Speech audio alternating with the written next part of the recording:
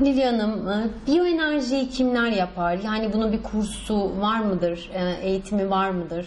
Bunun eğitimi var. Yani mesela bizde Moskova'da bunun akademisi bile var. Ama gerçekten çok e, e, seçilen yani herkese nasıl herkes şarkıcı olamaz nasıl herkes e, güzel yemek yapamaz yani biri yapar bir şey yapmaz bu da bu tür şeyler Yani bu becerinin kendisinde. Ee, tabii herkese biyoenerji kursu alınmaz. Yani gerçekten oradan bir e, ciddi bir kontrolden geçiyor.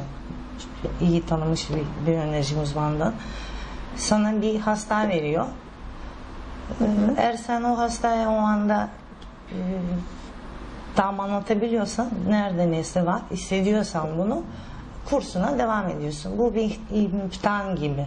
Ama eğer sen geliyorsun diyorsun ki ben bu kurs almak istiyorum biyoenerji e, ve hiçbir şey hissetmiyorsun. Sadece bilgi istiyorsanız bir sertifika alıp işte e, böyle böyle yaparak benim sertifikam var ben biyoenerji uzmanıyım. Böyle bir şey yok. Öyle kesinlikle izin vermiyorlar. İlla ki orada e, sana ağır bir hasta veriyorlar. Onu iyileştiriyorsun.